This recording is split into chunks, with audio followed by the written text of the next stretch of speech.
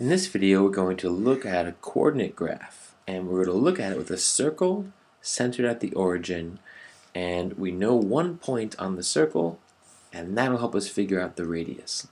So what I mean is let's say I have a circle right here. This is my estimation and it's centered at the origin and of course all that really means is that the center of the circle is here at 0 0 or the origin and maybe we know there's a point right here Let's label that point as 3, 4. The question is, what's the radius of this circle?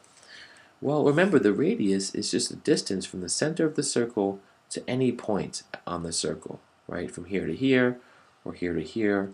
Um, but since we know this exact point right there, why not connect a line to that point? Okay, that's the radius. And the question is, how do we use this point to find that distance? Well, the great thing is, with 3, 4, we know that to get from the origin up to this point, we get to go over 3 and then up 4 to get there. And we can think of that path as a right triangle with one leg here of 3 and another of 4. So now this distance, this radius, is just the hypotenuse of a right triangle with one leg of 3 and one leg of 4. So let's use the Pythagorean theorem, which says that if you square one leg A, add to the square of another leg, you get the square of the hypotenuse. And then to find the length, just take the square root of c squared.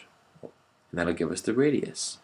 So A is 3, so 3 squared is 9 b is 4, so 4 squared is 16, and c squared is the sum of these two, which is 25.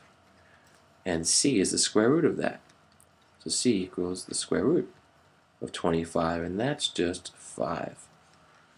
And this is a great introductory problem into trigonometry concepts and something called a unit circle.